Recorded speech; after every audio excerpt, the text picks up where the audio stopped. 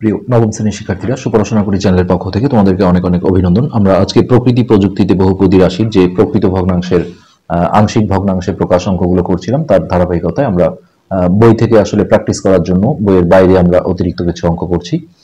তো এটাকে আংশিক ভগ্নাংশে প্রকাশ করতে বলা হয়েছে। সেক্ষেত্রে হরে দেখো আমাদের একটু উৎপাদকের বিশ্লেষণ আছে, অর্থাৎ এক্স কমন আছে এই তিনটা পদের মধ্যে থেকে। অর্থাৎ এই ভিত্তিটা যখন মিলে যায়, তখন এই ছোটটা হয় কমন তো আমরা ফার্স্ট টাইম লবটাকে ঠিক রেখে x square plus x plus one এই তিনটার মধ্য থেকে আমরা এক্স কে কমন নেব। তো কমন নিলে আমরা জানি যে ভাগ করে করে বসাতে হয় সো এক্স কিউবকে এক্স দিয়ে ভাগ দিলে এখানে এক্স স্কোয়ার থাকবে তারপর প্লাস এক্স স্কোয়ারকে এক্স দিয়ে ভাগ দিলে এখানে একটা এক্স থাকবে আর এইখানে সিক্স এক্স কে এক্স দিয়ে ভাগ দিলে এখানে শুধুমাত্র সিক্স থাকবে। এবার এইটাকে আমরা মনে করি দিয়ে হ্যাঁ, ধরে নেব ধরি x square plus x plus one by এটা তোমরা আসলে আগের যে পুরাতন কারিকুলামে হায়ার ম্যাথে যে নবম, দশম শ্রেণির বই ছিল, সেখান থেকে তোমরা কিছু অঙ্ক কালেকশন করে নিয়ে করতে পারো প্র্যাকটিসের জন্য। তো এক্ষেত্রে এখানে আসলে আমরা একটু ভুল করলাম। এটা আরও কিন্তু উৎপাদকের বিশ্লেষণ আছে। এটা আরও বিশ্লেষণ করতে হবে। এটা দেখো মিডিল টার্মের উৎপাদকের বিশ্লেষণ হবে। সো আমরা উপরের লবটাকে ঠিক রাখলাম। X square plus x plus one আর মিডিল টার্মের ক্ষেত্রে যে এক গুণন ছয়, এটা রাফে গুণন আকারে এইভাবে লিখে নিতে হয়। তারপর এখানে ওয়ান মিলাতে হবে, কিছু নাই মানে ওয়ান সো ছয়ের আমরা গুণনীয়ক বের করব, অর্থাৎ কোনো একটা সংখ্যা দিয়ে ভাগ করে তার নিচে ভাগফল বসানো, আর যা দিয়ে ভাগ করলাম তা দিয়ে অপর পাশে গুণ করে গুণফল বসানো। আর জোর সংখ্যা হলে তোমরা দুই দিয়ে ভাগ করবে, দুই দিয়ে ভাগ, দুই দিয়ে গুণন। তাহলে তিন থেকে দুই বিয়োগ করলে দেখো এক হয়। তো এখানে যেহেতু প্লাস ওয়ান আছে, যার কারণে বড়টা নিতে হবে প্লাস আর ছোটটা নিতে হবে মাইনাস এই।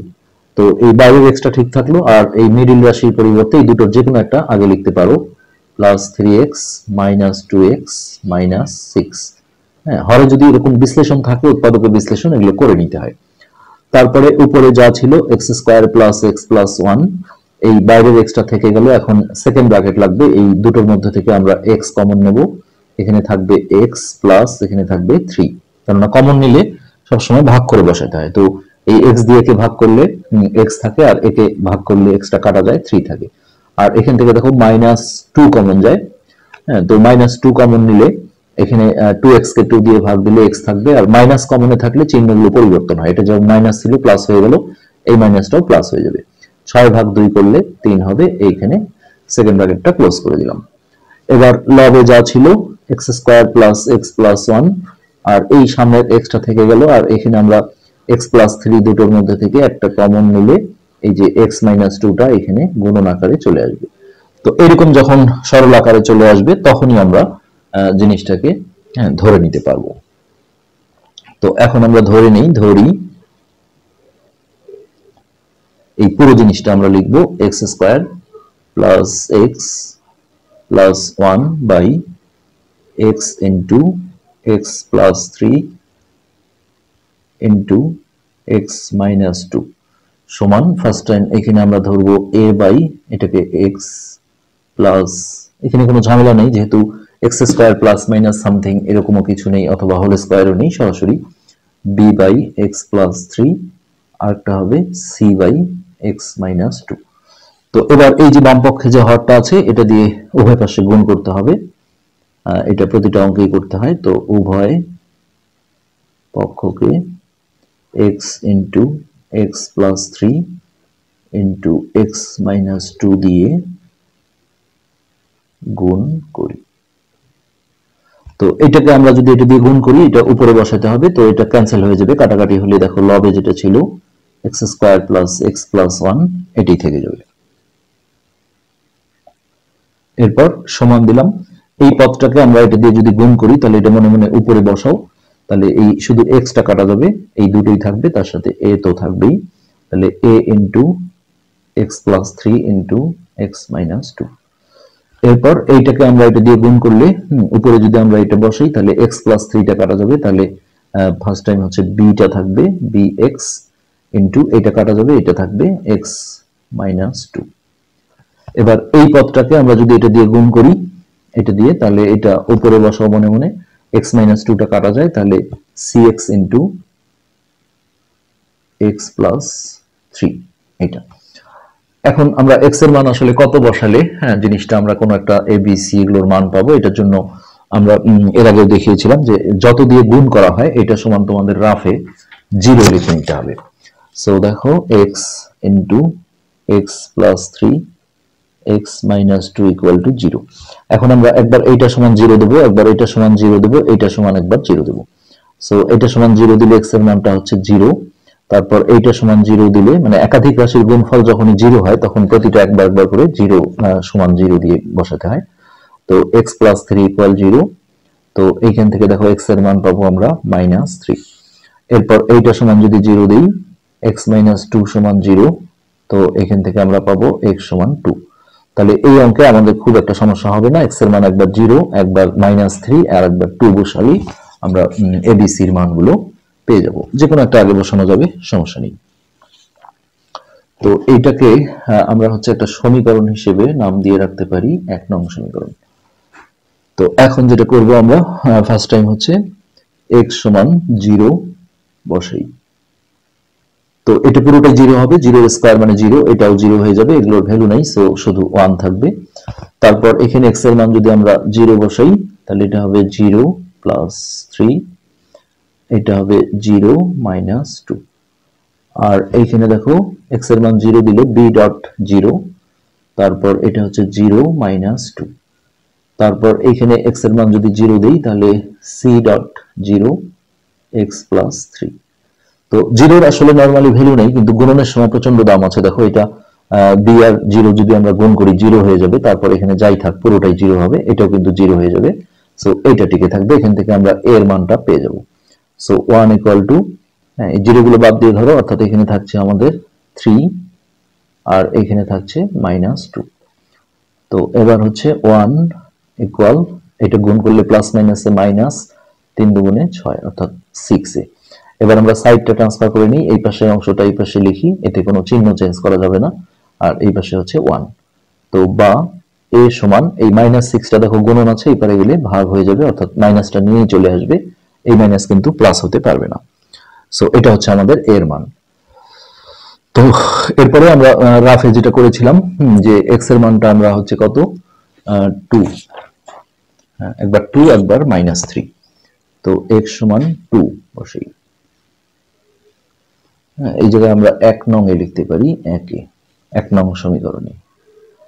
একে তো এক্সের মান যদি টু দাও, তাহলে এখানে টু স্কোয়ার হয়ে যাচ্ছে ফোর প্লাস এখানে আবারও টু প্লাস ওয়ান তারপরে এইখানে এক্সের মানটা টু দেবো আমরা, তাহলে এ এখানে হচ্ছে টু প্লাস থ্রি আর এটা হচ্ছে টু মাইনাস টু তারপরে এই জায়গাটা এক্সের মান টু দিলে হবে বি ডট টু আবার টু মাইনাস টু এইখানেও এক্সের মানটা টু বসাবো, তাহলে প্লাস সি ডট টু আর ভিতরে হচ্ছে টু প্লাস থ্রি ওকে তো এখন দেখো চার আর দুয়ে ছয় ছয় একে সাত। আর এইটাই যে প্লাস টু মাইনাস টু কাটা গেলে এটা জিরো হবে জিরো গুণন এটা করলে পুরোটাই জিরো হয়ে যাবে, এটা বাদ।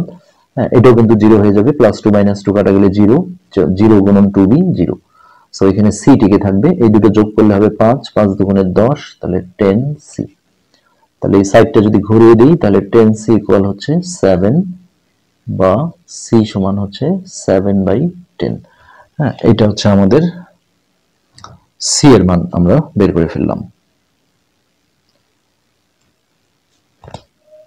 তো এই জায়গাটা আমাদের একটু দেখে নিতে হবে।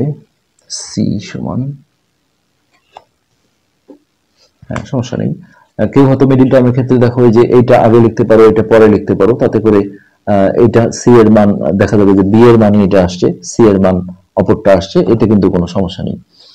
তারপরে আমরা আসব একে এক্স সমান, আমরা কত বের করেছিলাম? মাইনাস থ্রি মাইনাস থ্রি বসেই। তাহলে এইখানে দেখো মাইনাস থ্রির উপর যদি স্কোয়ার করি মাইনাসের উপর জোর পাওয়ার থাকলে প্লাস হয়, অর্থাৎ প্লাস নাইন হয়ে যাবে একবারে আমরা করলাম। তারপর প্লাস এক্সের মান মাইনাস থ্রি প্লাস ওয়ান এই জায়গাটা আমরা এক্সের জায়গায় মাইনাস থ্রি বসালাম। এবার এই জায়গাগুলো আমরা বসাই। সমান হচ্ছে A minus three plus three এটা কিন্তু জিরো হয়ে যাবে। এই যে জায়গায় আমরা এক্সের বদলে মাইনাস থ্রি বসালাম, এখানে আবারও মাইনাস থ্রি বসাবো। Minus three minus two plus B minus three এই যে এক্সের জায়গায় মাইনাস থ্রি বসাচ্ছি।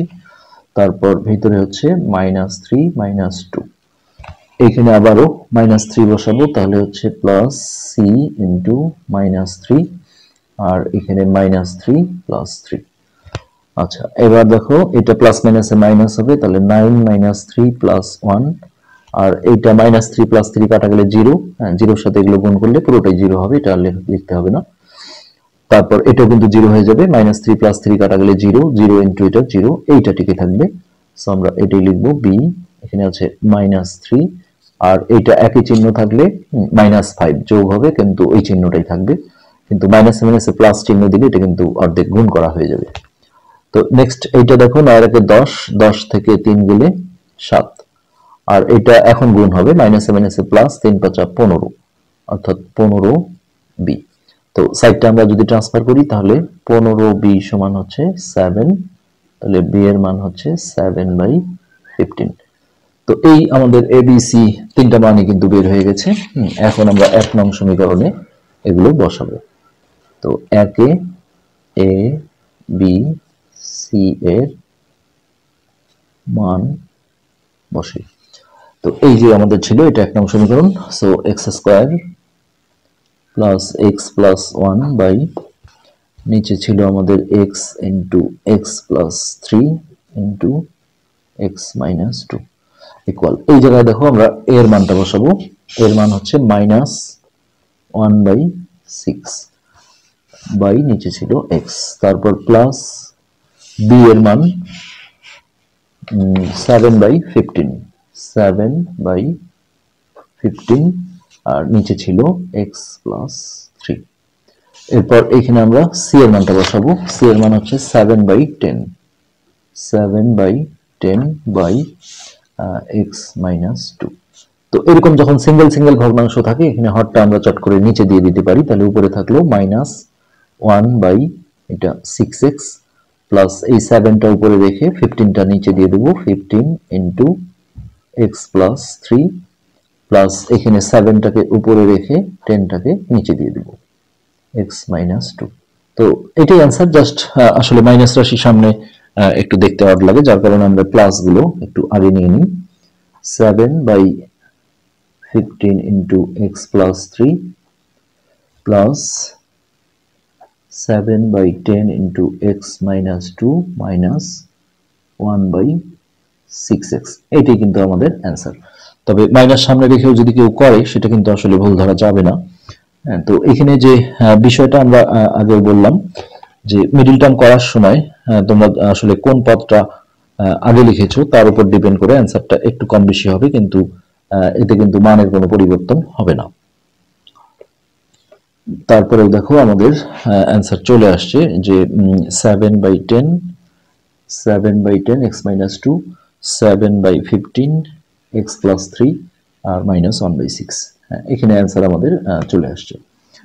তো এটাই পরের পার্ট থেকে আমরা অপ্রকৃত ভগ্নাংশের যে আংশিক ভগ্নাংশগুলো রয়েছে, সেগুলো সলভ করব। আজকে পর্যন্তই, ধন্যবাদ।